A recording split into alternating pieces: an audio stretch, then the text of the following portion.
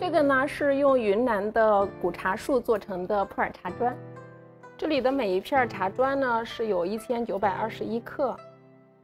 这个房子呢也是有一九二一年建成的。一九二一是一个很神奇的数字哈，在这里。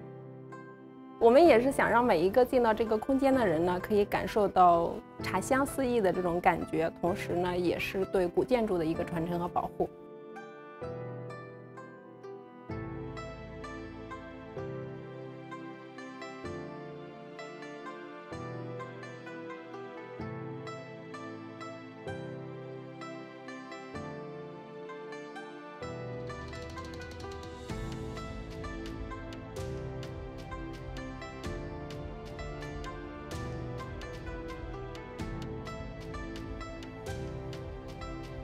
嗯，这款茶和刚刚的那个茶砖是同一款普洱吗？啊，是的。百年前呢，我们的茶马古道，然后驮着茶进京，然后呢，今天在这样的一个空间里面，我们可以很好的喝一杯茶，感受一下中国的传统茶文化。好茶，